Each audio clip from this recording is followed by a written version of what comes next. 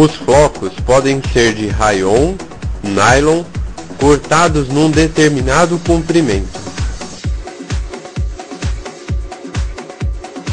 A Flock Color possui as mais variadas cores de flocos.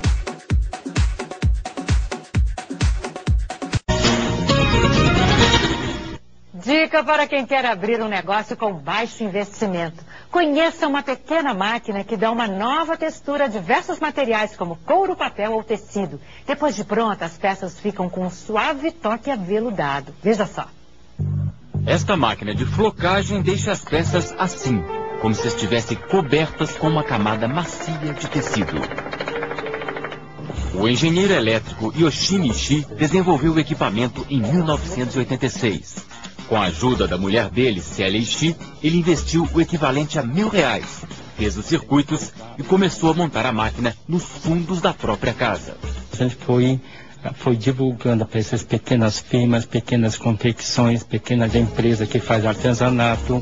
A máquina trabalha com quase todos os materiais, como papel, tecido e plástico. A matéria-prima são fios de nylon de várias cores, cortados em pedaços muito pequenos. Qual o tamanho desses flocos? São 0,9 milímetros, bem pequenos, levíssimos, é, mais fino do que o fio do mater da aranha. Quase microscópico, né? Exato.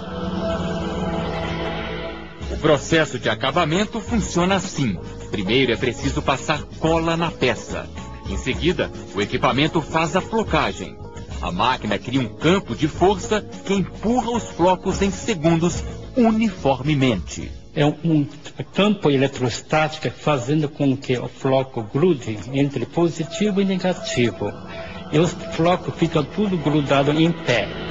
Dá um acabamento que enriquece, né? O aveludamento, ele fica muito bonito. Então enobrece qualquer